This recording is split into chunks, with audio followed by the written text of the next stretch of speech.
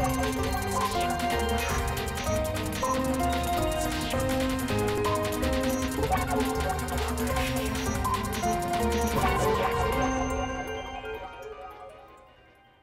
Olá, estamos de volta com o repórter NBR e as notícias do governo federal.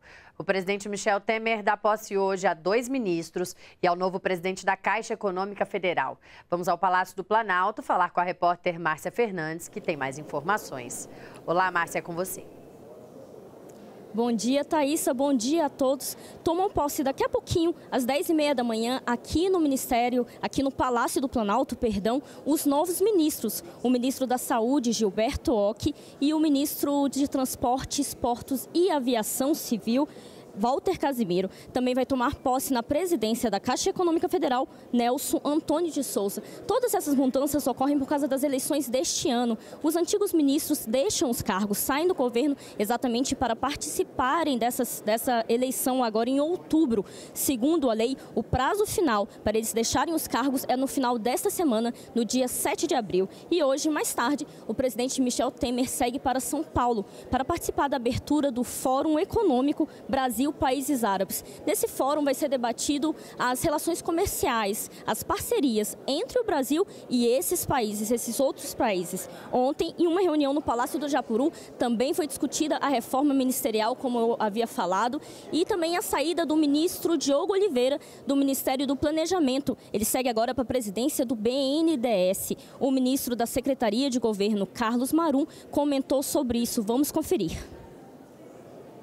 O assunto preponderante foi a reforma ministerial tá?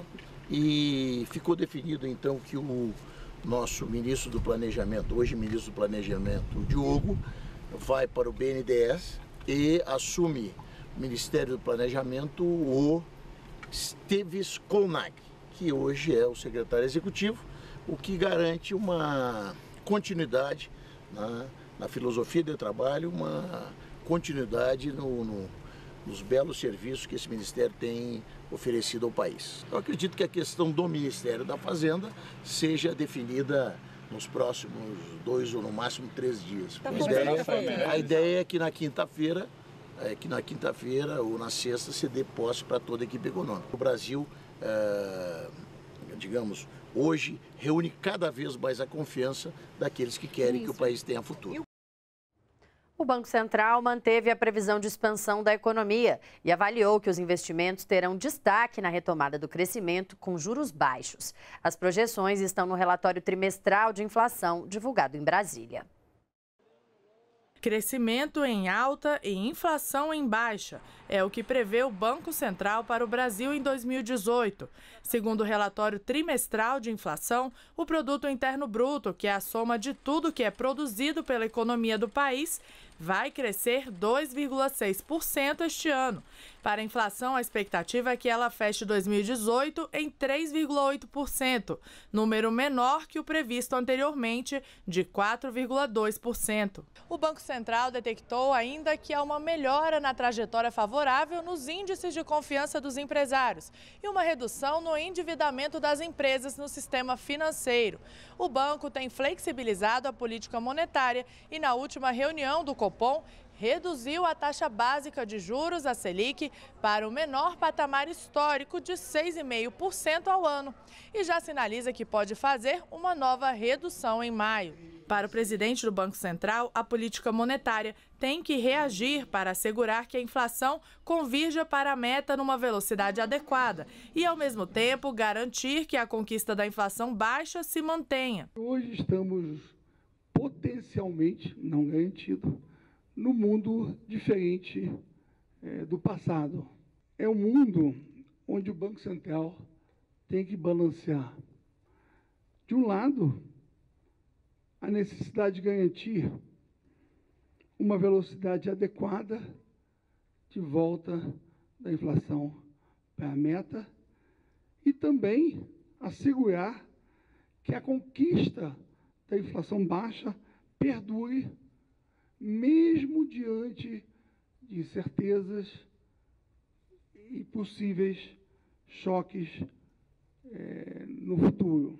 Nós acreditamos que o Copom tem a flexibilidade para lidar com essas duas dimensões e reagir a riscos para os dois lados. O relatório aponta ainda que boa parte dos recursos sacados por clientes bancários das contas inativas do Fundo de Garantia do Tempo de Serviço, o FGTS, foi usada na compra de imóveis e para a redução do endividamento. Aprender sobre ética e cidadania com uma turminha muito divertida. Personagens que estão entre os mais queridos da literatura infantil brasileira.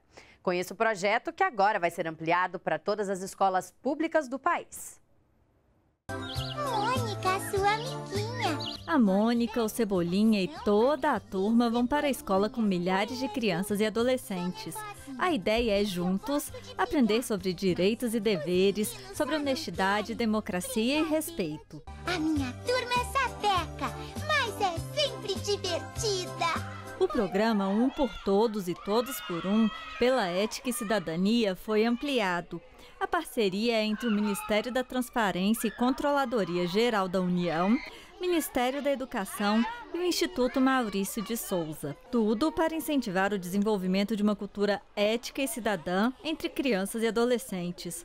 E o programa agora vai chegar aos alunos do ensino fundamental de todas as escolas públicas brasileiras. Desde 2008 até hoje, praticamente 10 anos, nós atingimos 700 mil crianças e agora nós queremos chegar às 48 milhões de crianças que estão estudando. Isso é uma diferença muito grande e realmente agora nós temos um programa que a gente almeja modificar a cultura do país, essa cultura que é tão necessária para que tenhamos um país mais íntegro.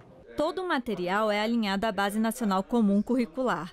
Para ampliação, foram investidos no programa 2 milhões e 400 mil reais. Na verdade, a gente está assegurando a educação para a cidadania, a educação para a ética, isso se forma durante a infância, é uma vida de uma criança, na escola, no convívio do lar.